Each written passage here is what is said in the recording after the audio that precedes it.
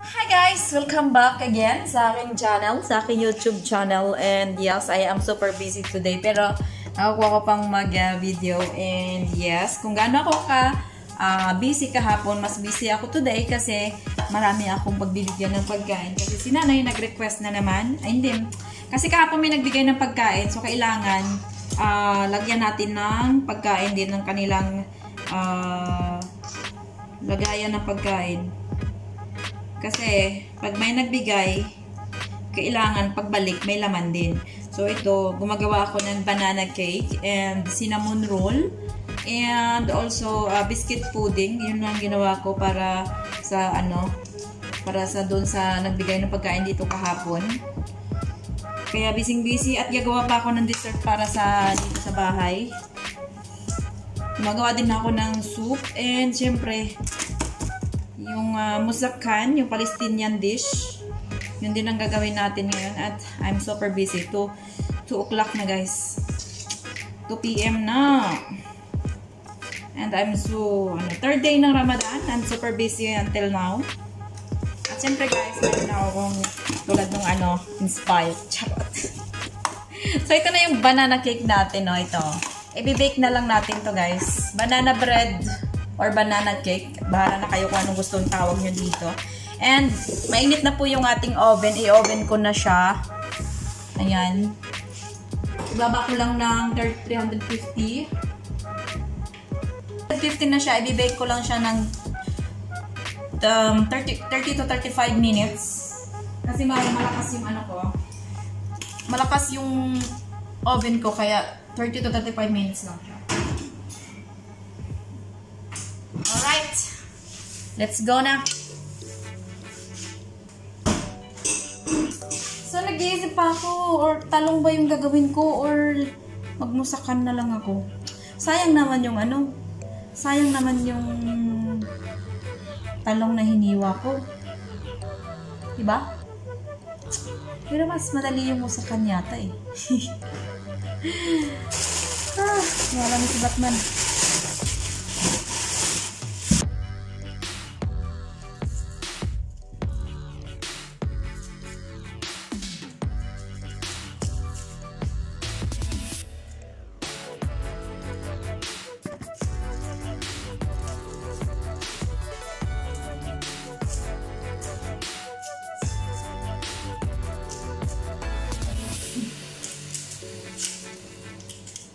Sakit sa mata, naluluha ako. Bakit ba? Gusto nyo bang umiyak na walang dahilan? Magbalat lang kayo ng sibuyas, guys. Tutulo at tutulo ang luha nyo. Ang bihira naman, oh. Ugh. Sakit sa mata. Hmm,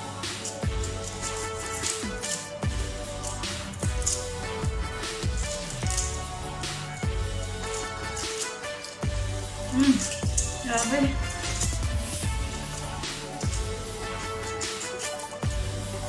Magbabalat ko lang ako.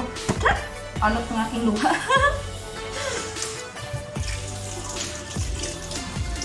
so, grabe. Kinaya. Ay, Ay.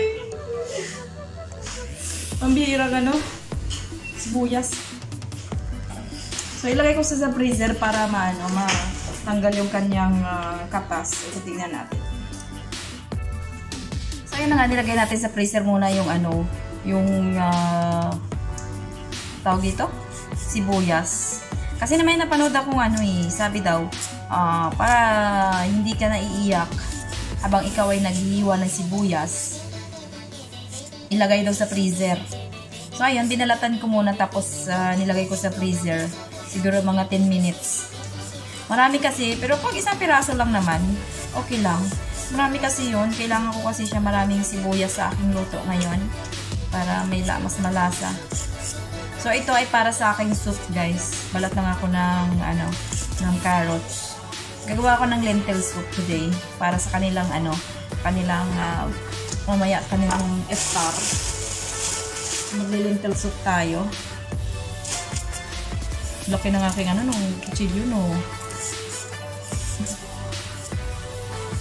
Ganito ka busy guys tuwing Ramadan.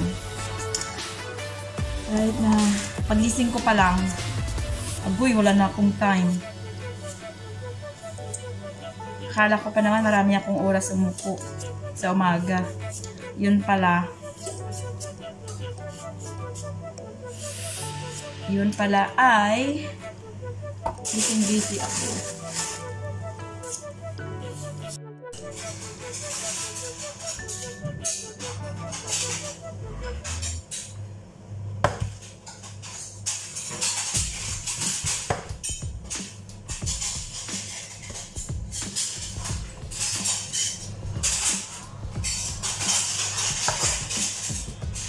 So, ito naman yung aking dessert for today, guys. Hugasan muna natin yung gatas bago ilagay.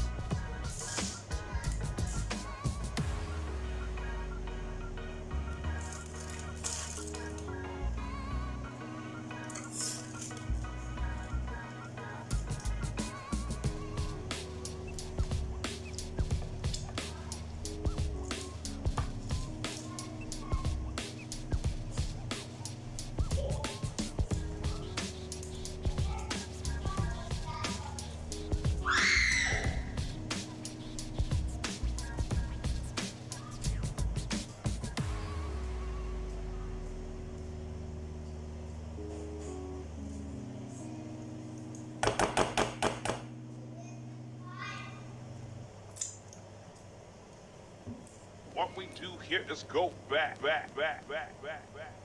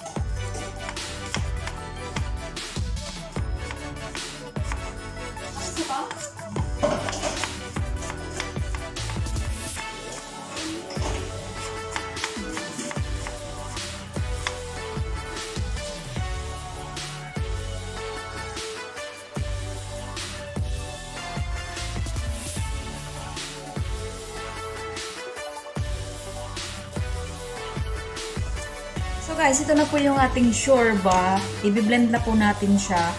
Alright. Na-blend ko na po yung kalahati. So, i-blend lang natin yung kalahati.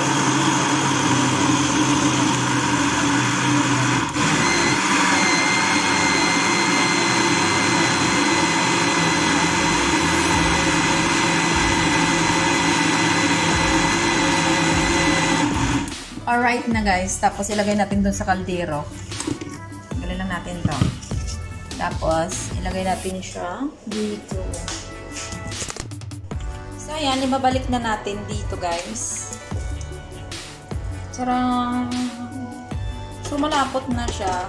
So, kung gusto mo mag, ano, magprito ka ng ah, Arabic bread, para pang ah, ano lang natin dyan.